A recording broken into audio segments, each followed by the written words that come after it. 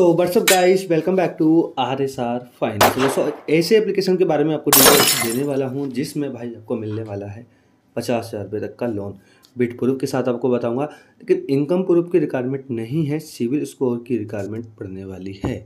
मतलब कि ये है कि भाई ये जो कंपनी है, ये N B F C R B register company है इनकम प्रूफ एक परसेंट नहीं भी लगेगा, लेकिन सिविल स्कोर की रिक्वायरमेंट ज़रूर पड़ने वाली है। रिसेंटली आप लोग स्क्रीन पर देख सकते हो, यहाँ पर जो लोन अमाउंट है, वो है छप्पन हज़ार रुपये का। जी हाँ छप्पन हज़ार रुपये का लोन है, और यहाँ पर ईएमआई की अगर मैं बात करूँ तो सात हज़ार दो सौ कुछ रुपए का लोन है सात हज़ार दो सौ कुछ रुपए की ई है, जिसमें से टोटल ई जो पेड हो चुकी है, वो पाँच ई पेड हो चुकी है।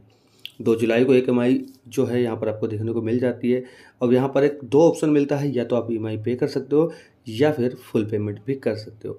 देखिए, इस एप्लीकेशन में डायरेक्टली आपको पचास हज़ार रुपये का तो लोन नहीं मिलेगा।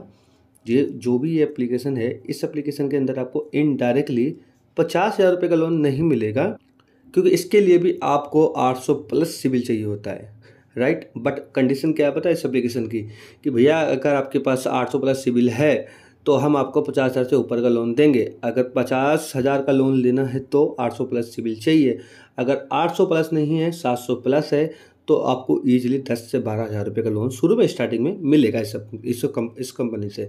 ये ठीक है, लेकिन देखिए, अगर मैं कंपनी की बात करूँ तो यहाँ पर इस कंपनी का नाम है क्रेडिट बी काफ़ी लोग जानते हैं और काफ़ी लोग नहीं भी जानते कि ये कंपनी आप लोगों को पाँच लाख रुपये तक का लोन देती है।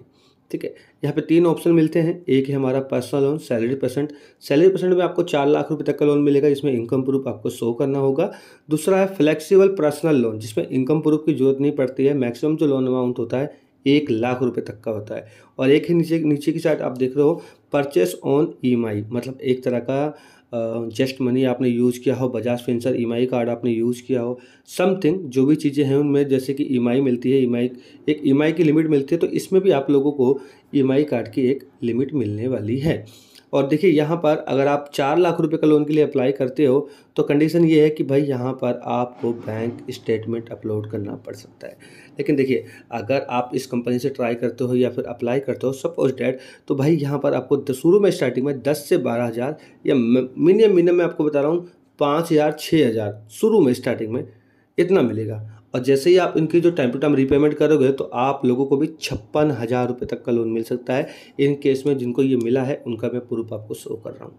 और कितनी ईएमआई है भाई अगर आप देखोगे तो पाँच, छः, सात, आठ, नौ, दस, पंद्रह ई होगी। आई थिंक मेरे आइडिया से या फिर बारह महीने की होगी। ठीक है? लेकिन ये सही है कि भाई, अगर आप किसी कंपनी की टाइम टू टाइम रीपेमेंट कर रहे हो तो भैया आपको दो हज़ार का जहाँ लोन मिला है, वहाँ आपको बीस का भी मिल सकता है और जहाँ आपको बीस का मिला है, वहाँ आपको एक लाख का भी मिल सकता है। तो ये बिल सर्कल के ऊपर अकॉर्डिंग है मतलब कि अगर आपने ड्यू नहीं किया है, किसी भी किसी भी ई का, जैसे कि टाइम टू टाइम आप पेड करते आ रहे हो, जैसे कि पाँच ई पाँच ई एम यहाँ पर पेड है तो